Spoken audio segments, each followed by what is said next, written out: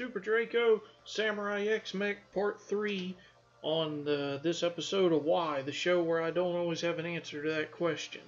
So, just like the others, I've been editing back to back to back, so I don't have much new to add.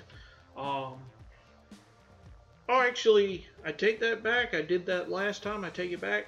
Um, you know, I'm a huge uh, nerd for robots in general, but uh, HasLab uh, announced uh, uh, a Dezaurus or Deathsaurus, depending on how you want to pronounce it. Uh, if you remember last year, they did the HasLab did a crowd fund for Victory Saber from Transformers Victory. I backed it. I'm just waiting on it to arrive. Uh, they got Dezaurus 179, reasonable price because that's the same price as Mastermind Creations third-party versions of Dezaurus. So if you're into that, take a look. Um, looks cool. Other, than I don't think it includes his iconic rifle. That's gonna suck if they don't at least include his iconic rifle.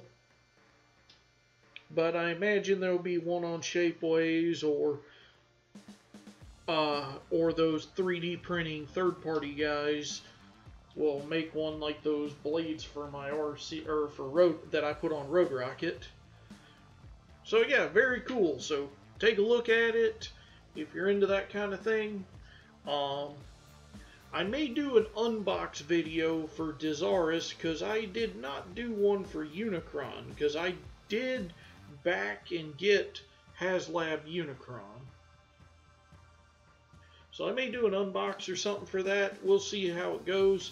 Uh, thanks for watching, and I'll see you for the uh, for the next one.